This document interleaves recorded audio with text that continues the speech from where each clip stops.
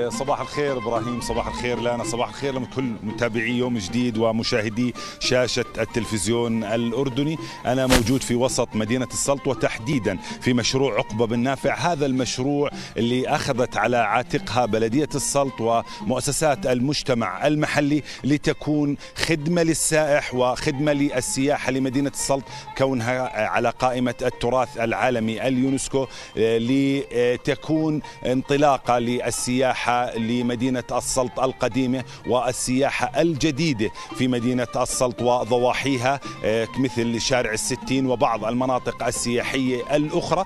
آه، مدينة السلط تهتم بموضوع السياحة جدا وأصبحت الثقافة السياحية في مدينة السلط سياحة كبيرة. بلدية السلط تعمل بكل ما لديها من آه، قوة في النشاطات في النشاطات الاجتماعية والنشاطات الثقافية حيث تشهد مدينة السلط السلط هذه الأيام حركة سياحيه كبيرة جدا على مستوى المملكة والمستوى العالمي من خلال الجروبات السياحية لمديرية سياحة البلقاء ثم الانطلاق إلى المسار السياحي ومسار الوئام داخل مدينة السلط، الحركة الثقافية كذلك الأمر من خلال الدائرة الثقافية في بلدية السلط من خلال مؤسسة الإعمار ومن خلال مديرية السياحه ومديرية الثقافة.